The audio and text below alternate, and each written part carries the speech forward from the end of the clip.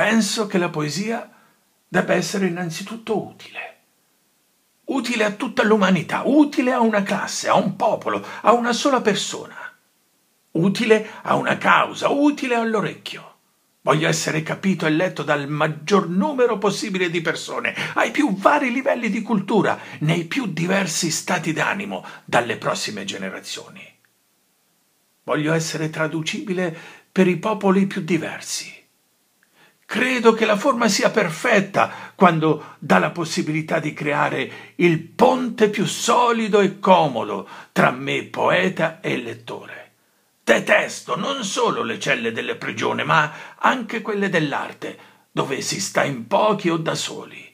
Sono per la chiarezza, senza ombra, del sole allo zenit che non nasconde nulla del bene e del male.